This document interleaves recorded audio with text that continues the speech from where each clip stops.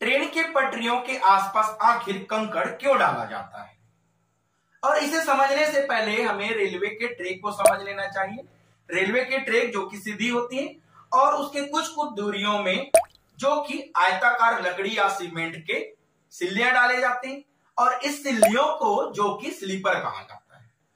और इन स्लीपर्स के बीचों बीच में जो कि कंकड़ डाले जाते हैं या कह दे गिट्टी डाले जाते हैं। जिसे बलास्ट या बेलेस्ट कहते हैं। और यह जो बिलेस्ट या ब्लास्ट या फिर कह दे जो कंकड़ है, वह उस रेलवे ट्रैक के लिए स्प्रिंग का काम करता है।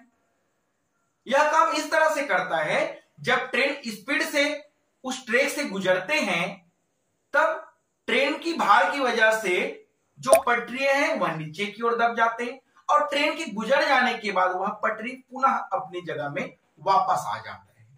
जिसके वजह से उस ट्रेन पर बहुत ही ज़्यादा कंपन होता है और कंपन में वह जो ब्लास्ट है या जो गिट्टियाँ हैं, वह स्प्रिंग की तरह काम किया। पहले तो दबा है फिर वापस आ गए।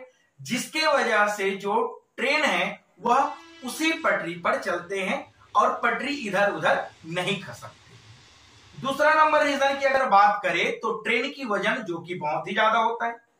और जब वज़न है तब वह ट्रेक में अगर चलता है तो गर्मियों के दिनों में जो पटरी है, वह फैल जाती है और सर्दियों की जगह में वह फिर से सिकुड़ जाते हैं।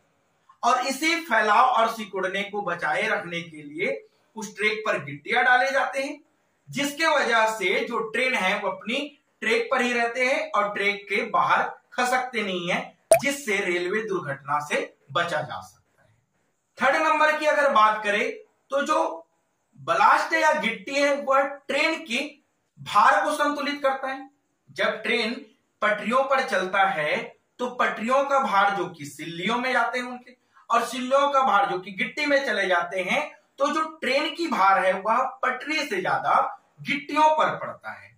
इस तरह से वह भार पर संतुलित करता है। फोर्थ नंबर अगर बात करें तो जो गिट्टियाँ डाले जाते हैं ट्रेक पर, वह ध्वनि प्रदूषण को रोकते हैं। देखिए, सिंपल सी है, जो गिट्टियाँ हैं, वह बेसाई की टाइप में कटा रहता है।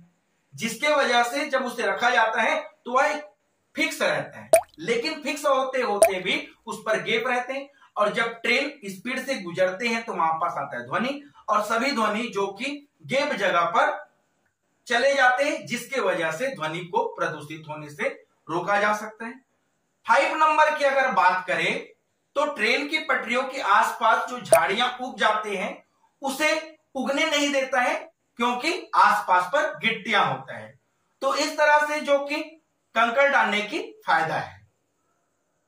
तो आई होप आप लोगों को यह आंसर समझ आ गया होगा कि आखिर ट्रेन के पटरियों के बीच पर गिट्टियाँ या कंकड़ क्यों डाला जाता है। और अगर आपको हमारी वीडियो अच्छा लगा हो तो वीडियो को लाइक करें, चैनल को सब्सक्राइब करें थैंक यू